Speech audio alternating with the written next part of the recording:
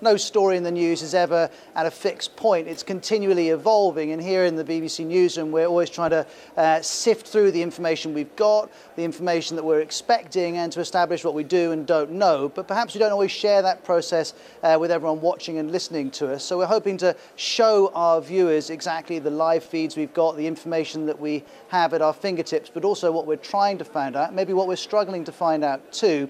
We're also going to give a much more central role to the information and expertise that lots of people outside of the BBC are sharing, sometimes with us, often they're just posting it online. And last but not least, we're right here, the newsroom's just down there, and as you'll know, there are many, many people here at the BBC who are fantastic journalists, have lots of expertise, they have a huge influence over how we tell the news, but they don't always appear on the television and the radio. So by positioning ourselves more closely here, we're hoping we can maximise what the BBC has to offer on any given story. And Ros, you might see a theme in these questions, but uh, what toys do you get to play with that we haven't got on Global?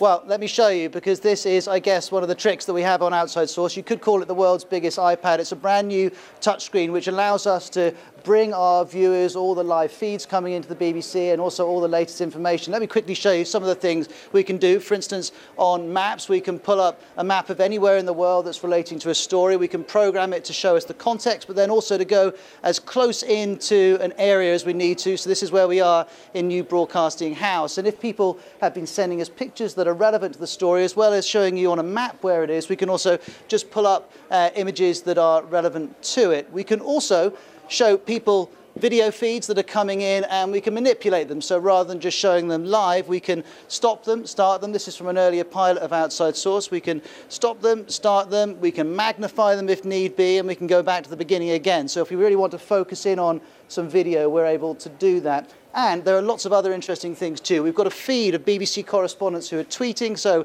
as we get updates from correspondents, we can immediately show you those on the screen. As I go along, we can show you live web pages. Uh, we've got a trending page which shows you what's uh, hot on Twitter at any point, a hashtag page which allows us to work social media into our storytelling. Perhaps most important of all, we have what we call the outside source quad, and that allows us to show all the feeds coming in from BBC sources and also from news agencies and ordinary people. Uh, we can show you what's at our fingertips, and then we can pick and choose what we use to build up a picture of the story. So, as well as having better toys than Global, you've got better kit and you're mobile as well.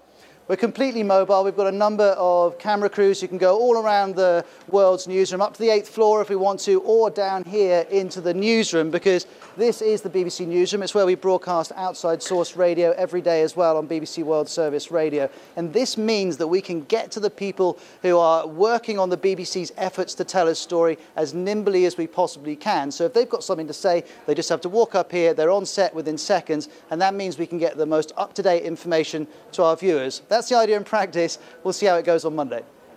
I'm really happy for you, Ros, that you've got so much more that we haven't. Well, you know.